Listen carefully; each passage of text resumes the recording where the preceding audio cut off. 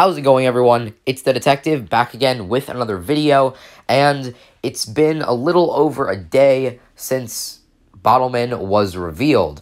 I published my first video on it two days ago when we first saw the products, and some pretty crazy stuff has happened since. Yesterday, we got the full reveal. The Takara Tomy website posted pre orders online, and they also posted a bunch of videos and a trailer for the new anime that I will be discussing later. One thing that's very, very interesting and very, very good for the community is that Bottleman pre orders sold out within the first day. Takara Tomy made an announcement yesterday saying that legit, they didn't plan that Bottleman would have this many fans and that so many people would place pre orders on the Takara Tomy website. If you go on Amazon Japan, there are scalpers selling them, even scalpers on eBay who are like selling for $50. You can get a pre-order from them for like a single one of the Bottleman figures, which is absolutely nuts. Do not do that. You know, they're definitely going to mass produce these, so you'll be able to get your hands on one. But this is really, really good because it shows that so many people are already jumping onto the bandwagon that is Bottleman, and just, you know, the B-Daman community is going to make a huge comeback as a whole. Now, one of the most exciting things that we got reveals for was the anime. And I'm not going to post any like direct video clips or anything. As you can see, you know, I just have some images showing up on the screen. Now, it has been confirmed that these episodes are actually going to be released for free on the Takara Tomy YouTube channel. However, they are only going to be like five minutes long. So it's kind of somewhat like Bakutech, actually, in the regard that the Bakutech show had episodes releasing on the Sega Toys, you know, Bakutech YouTube channel, and they were also only like four to five minutes long. Nonetheless, I'm really excited because the animation honestly looks really fluent. The character designs are super wacky and out of the ordinary. You can see this guy right here is the guy that uses the Aqua Sports uh, Bottle Man. And the guy that we just saw before with the red and uh, the red and green hair, that was definitely the Colamaru, uh, the guy who uses Colamaru. And this is honestly just really exciting. I will be posting links down below to the Takara Tomy uh, YouTube channels that you can actually go. I think like their three most recent videos are Bottleman related.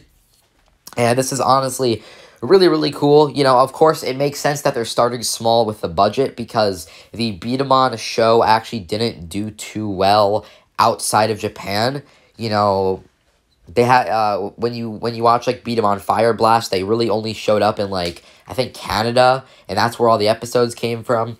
And even with Battle B-Daman, you know, Fire Spirits, the English dub was canned, and they didn't even do an official sub for it. Crash B-Daman never got imported and remade by Hasbro, and yeah, it makes sense that they're sm- they're starting off, you know, smaller scale with the anime, but I'm still really looking forward to it because the animation looks really nice and it kind of reminds me of a mix between Battle and Crossfight, especially this shot right here with what is our main character, you know, holding up his Colamaru ready to do a big shot.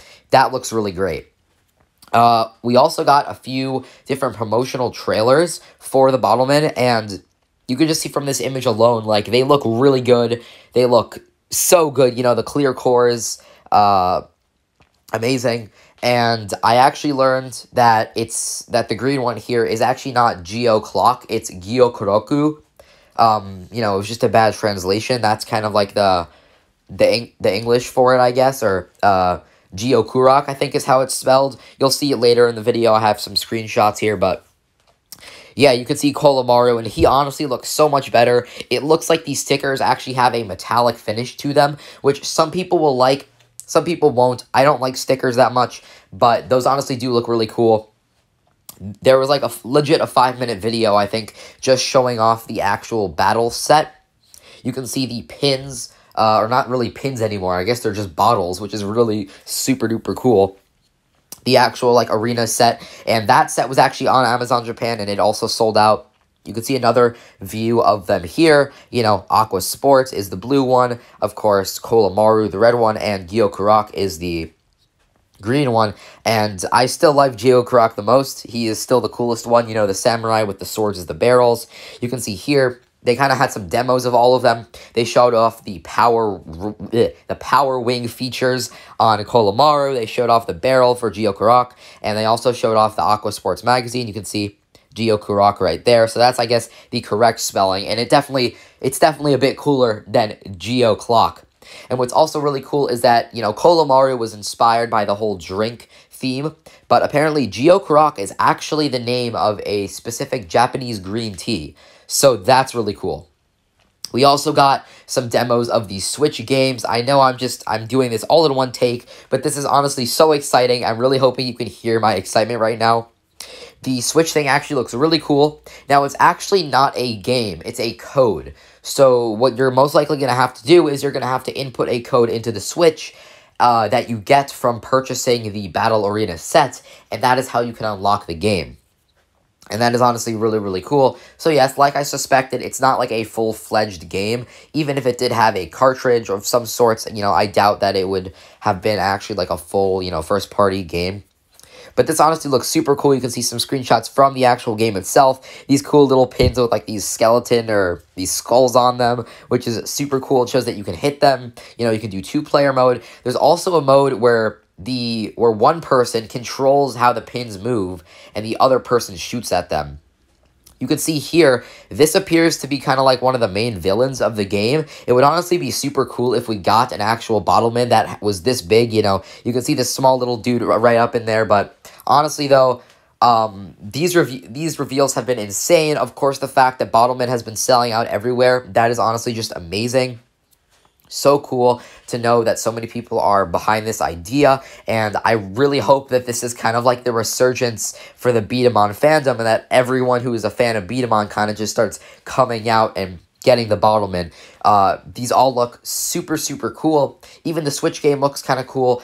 I actually made a mistake in my last video. I said that these Switch games were region exclusive, but they're not. That must have been the DS. I got confused. Apologies. You know, I don't own a Switch myself, so things like that happen. But I did get corrected in the comments. Now, I'm not sure how the code is going to work, because if a game works region, if, a, if, if the Japanese, like, Switch games can be used with global Switch consoles, I wonder if that's the same for this, like, online code that you would have to put in.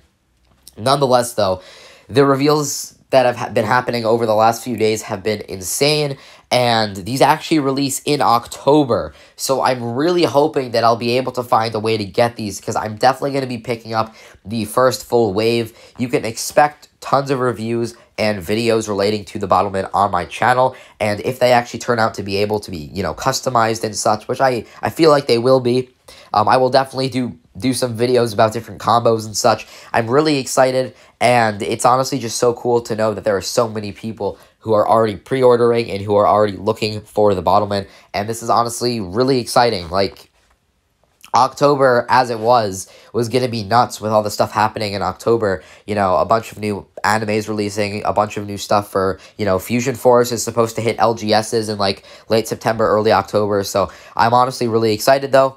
Thank you so much for watching, everyone. Leave your thoughts in the comments below.